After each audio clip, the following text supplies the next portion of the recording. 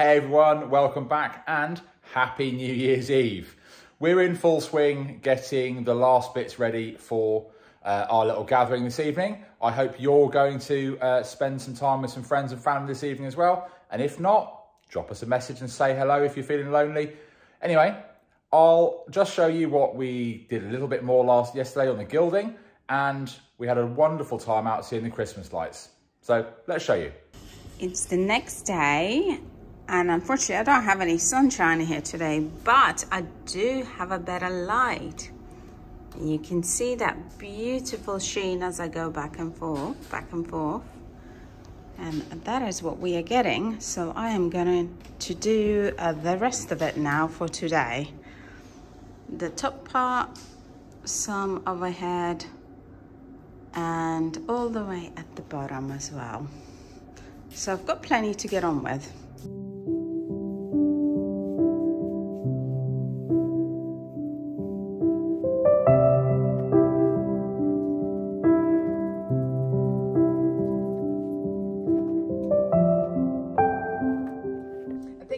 Progress on day two um, because I'm obviously finding what works for me, especially with this paneling, which is a lot deeper. There's a lot of curves and cuts uh, as opposed to more simpler ones that I am going to come across.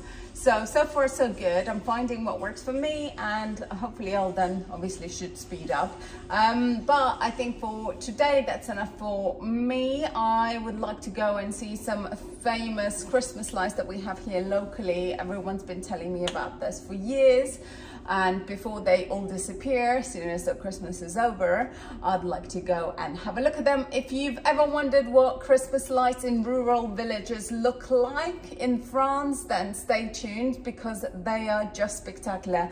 All the villages are really nicely decorated and all the villages are like literally two minutes apart. So it's never ending uh, road trip that is really fun to go on to be fair.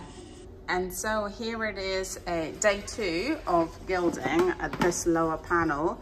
I have much crisper line all over the place uh, because what I decided to do is painstakingly um, apply glue with a brush, uh, which took longer than masking tape yesterday. But at least I don't have these um, uh, shall I say, messy corners like I did with the masking tape because I realized my masking tape wasn't very good. So unless you got the uh, Duck brand, I think is really, really good one, which I've run out. Um, yeah, go by hand. So whatever works. Luckily, I've got steady hand. I think you agree that looks really nice, sharp, and better quality than the one above. But overall, it's all an improvement. So I'm really happy with the progress um, and it's lovely and smooth and lots of reflection sadly I've had no sunshine today but oh well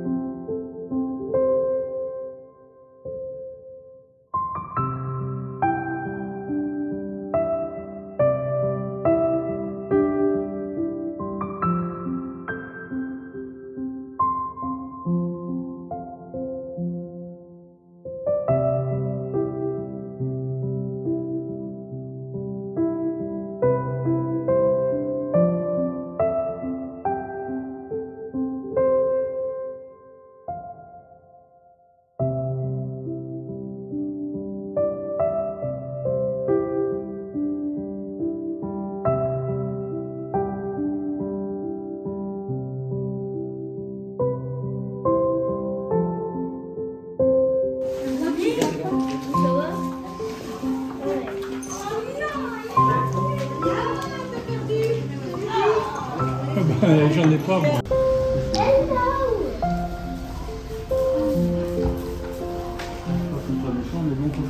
They're so soft.